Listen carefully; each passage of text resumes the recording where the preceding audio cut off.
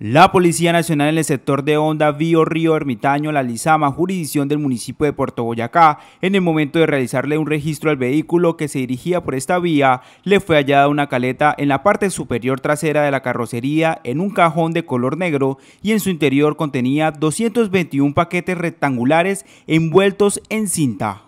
En este procedimiento fue capturado un sujeto quien conducía un vehículo tipo camioneta de servicio particular que cubría la ruta Espinal San Alberto. Logran la captura de un sujeto de 51 años de edad quien conducía un vehículo tipo camión de servicio particular que cubría la ruta Espinal San Alberto, Cesar. En el momento de realizar un registro al vehículo le fue hallada una caleta, eh, la cual en la parte superior de la carrocería eh, transportaba en un cajón y mediante la modalidad de ocultamiento un total de 221 paquetes rectangulares envueltos en cinta con un peso de un kilo cada uno para un total de 221 kilos de clorhidrato de cocaína.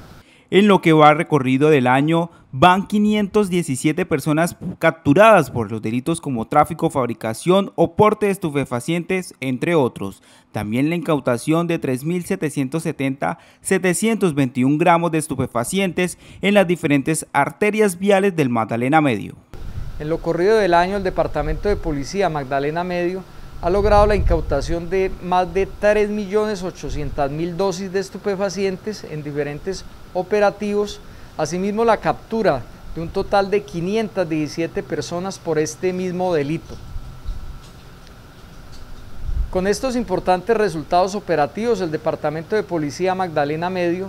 demuestra su compromiso con mantener la convivencia y tranquilidad ciudadana de todos los habitantes de la región del Magdalena Medio,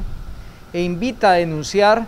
a toda la comunidad a través de las líneas de emergencia 123 de los números únicos del cuadrante, de la línea de emergencias 167, la línea antidrogas.